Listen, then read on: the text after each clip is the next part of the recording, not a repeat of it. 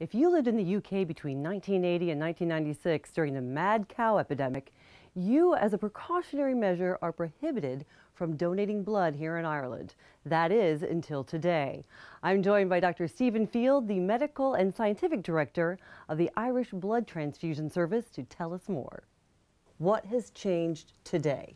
Well, we've had an opportunity to look at the science since then, and we have looked at the risk, and the risk is actually infinitesimally tiny. So the chances of actually transmitting this disease in blood is very, very, very small indeed. It's not absent, but it's very small. Great. And so today, though, if you want to donate blood, where do you go? What do you do? You need to go to any one of our clinics. First of all, look on the website and uh, see if you're eligible. Um, you still need to make sure you fit all the health criteria.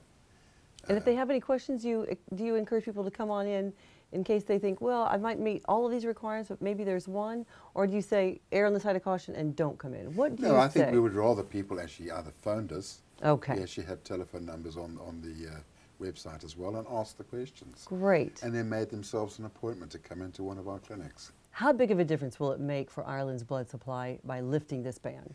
It means that we will have a whole lot more eligible donors. We lost 9,000 or so donors at the time the ban was put in place, and a good number of people will now become eligible, and that will increase our blood supply between 5 and 10 percent.